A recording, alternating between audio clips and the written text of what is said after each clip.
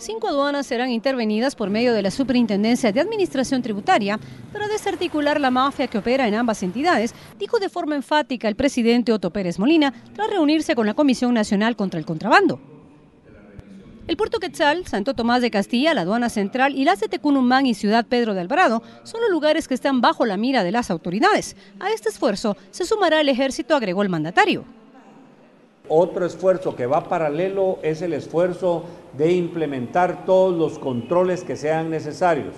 Y aquí estamos hablando de los escáneres que pueden hacer revisión no intrusiva, es decir, no hay necesidad de abrir el contenedor, no hay necesidad de bajar toda la mercadería que va en el contenedor, sino que son escáneres que permiten hacer una revisión completa en un tiempo cortísimo, pero que se detecta que efectivamente lo que va adentro es lo que está declarado y no que estén declarando que llevan eh, un tipo de mercadería que paga pocos impuestos y resulta que adentro llevan una mercadería que es mucho más cara y que debe de pagar más impuestos. Además de eso, por supuesto, eh, esto nos ayuda en el tema de seguridad para revisar si no van armas, para revisar si no va droga, para revisar si no van explosivos,